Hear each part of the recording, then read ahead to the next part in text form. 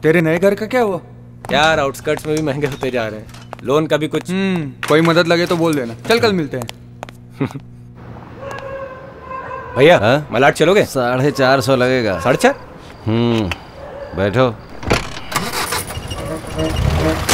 Sorry भैया बस ले लूँगा।